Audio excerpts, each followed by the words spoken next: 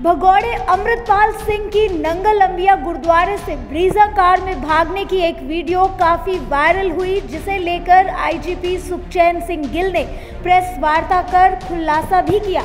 IG ने बताया कि जिस ब्रीजा कार में अमृतपाल सिंह भागा था, उसे पुलिस ने बरामद कर लिया है। वहीं अब उसकी एक एक्सक्लूसिव वीडियो सामने आई है, जिसमें वह खेतों के पास ब्रीजा कार से निकलकर वेश बदलता है और उसके बाद बाइक पर सवार होकर फरार हो जाता है।